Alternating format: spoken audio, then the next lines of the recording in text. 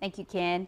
We all know that manners matter, and that's why it is appropriately titled a six-night weekly class for fifth and sixth graders. Now, in this class, children learn simple skills like making introductions, small talk, even table manners. Tonight was their final banquet at the First United Methodist Church, and as Joseph Saint shows us, the students got the opportunity to put their newly learned skills on display. Kids nowadays, we need to learn manners. That's Carson, and he just finished Manners Matter a six-week course in etiquette.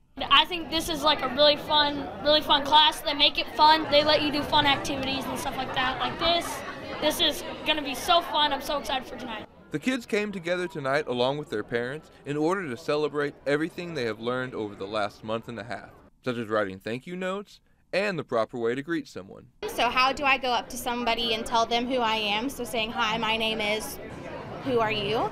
Phone and computer etiquette, things like that. Table manners is a big one. We spend a whole evening on that.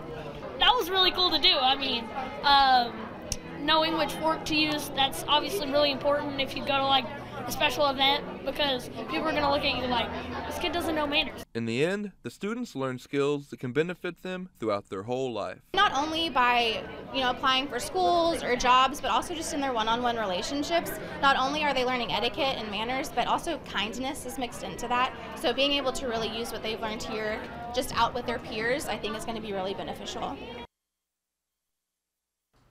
That was Joseph Saint reporting, and if you missed out on tonight's class, you can always go online to the First United Methodist Church website to sign up for their next one.